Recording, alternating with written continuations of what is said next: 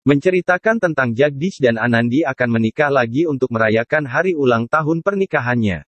Episode sebelumnya menjelaskan bahwa Jagdish pulang ke Jaitsar lantaran nenek Vasundra datang ke Haveli dalam keadaan sakit keras akibat kanker yang dideritanya.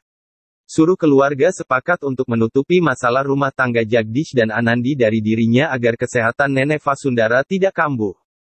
Jagdish pun pulang di hari Diwali untuk merayakannya bersama nenek Vasundara yang tengah sekarat.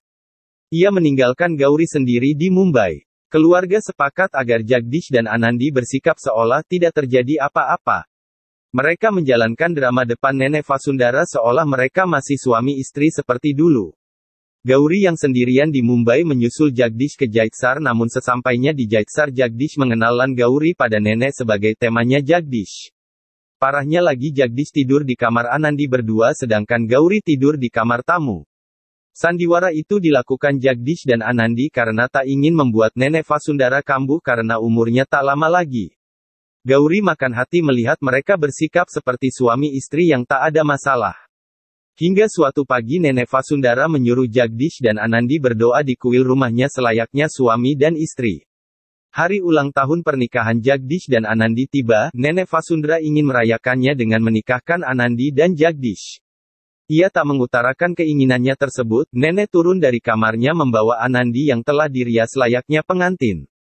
Jagdish tertegun melihatnya, dan nenek Kalyani mengutarakan maksudnya namun Gauri yang tak sabar kemudian berteriak membentak nenek yang lagi sakit. Kalyani berusaha mencegahnya namun ia tak bergeming. Gauri mengamuk mengungkapkan kebenaran yang ada ia mengatakan jika Anandi bukan istri Jagdish lagi melainkan dirinya dan ia juga mengatakan jika dirinya tengah hamil anak Jagdish. Gauri berteriak seperti orang gila, Fasen dan Byron membentaknya begitu juga Kalyani. Gauri semakin menjadi, ia menghina keluarga Jagdish dan mengatakan keluarganya sangat licik. Jagdish murka dan mengangkat tangannya hendak menamparkan Gauri namun ia mengontrol dirinya.